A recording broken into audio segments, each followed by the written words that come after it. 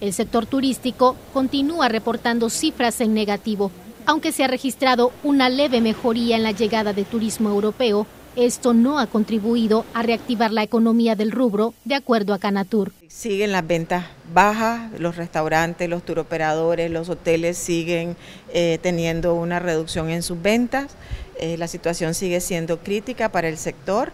Eh, es cierto que ha habido en algún, de alguna manera alguna mejoría muy leve en, turismo, especialmente europeo, pero mínimo ¿verdad? en comparación con los flujos que venían anteriormente y también considerando que el, turismo europeo apenas representa el 7% del total y lo que está viniendo ese 7% es un poquito, pues realmente, si bien es positivo, pues no ayuda realmente a reactivar la actividad turística en el país todavía.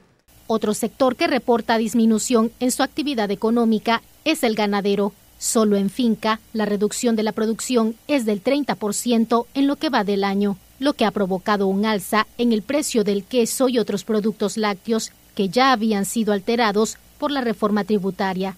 Yo creo que esto es al revés, pues yo creo que la crisis sociopolítica te tiene estancada la economía del país. Pues nosotros en el caso del sector ganadero hemos tenido una disminución en las exportaciones de leche de carne del 6% más o menos en este primer trimestre, donde eh, provocado a la falta de financiamiento, la disminución del consumo en el país también por la falta de trabajo, falta de ingresos.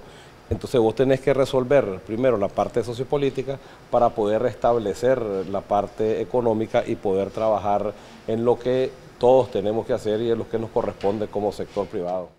La actual crisis política ha generado dificultades a las empresas para poder honrar sus deudas con los bancos, lo que ha detenido el flujo de nuevos financiamientos. Hay empresas del sector turístico que tenían eh, crédito, financiamiento al momento de que estalló la crisis y que el sector se vio se ha visto duramente afectado por la falta de turismo que le ha imposibilitado que puedan asumir ¿verdad? sus compromisos con los bancos. Se llegó el año pasado a algunos acuerdos con instituciones bancarias y los empresarios para tener una especie de moratoria, pero esa moratoria se les ha vencido ya y el turismo sigue todavía caído, entonces los empresarios siguen todavía sin poder hacerle frente a, esos compromisos y es una situación pues eh, delicada. Por su parte, la presidenta de Canatur aseguró que el asalto armado que sufrieron varios hostales y restaurantes en Playa Maderas hace dos días en el departamento de Rivas no está vinculado al contexto político que atraviesa el país.